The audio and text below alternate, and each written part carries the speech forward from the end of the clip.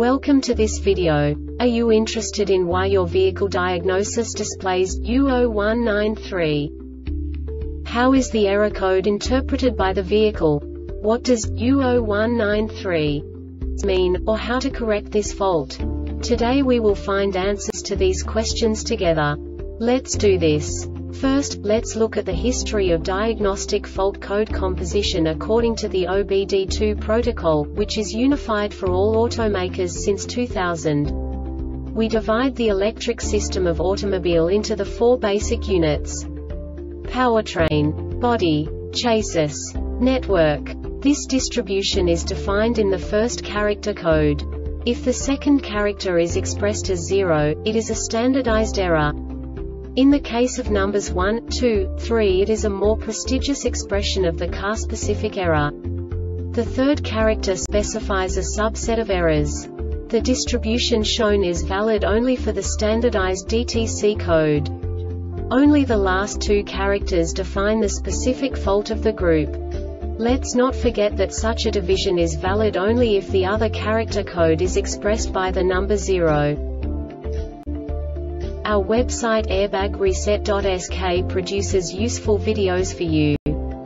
You do not have to go through the OBD2 protocol anymore to know how to troubleshoot any car breakdown. You will find all the diagnostic codes that can be diagnosed in a Mazda vehicles.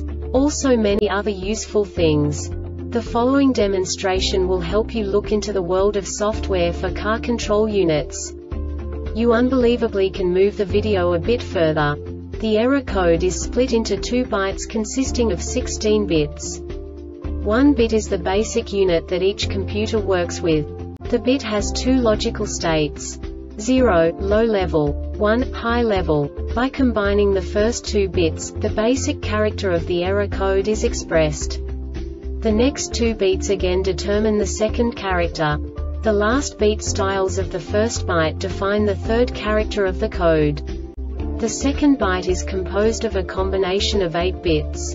The first 4 bits determine the fourth character of the code. And the combination of the last 4 bits defines the fifth character. A single byte conceals 256 possible combinations. We now know in what way the diagnostic tool translates the received information into a more comprehensible format. The number itself does not make sense to us if we cannot assign information about it to what it actually expresses.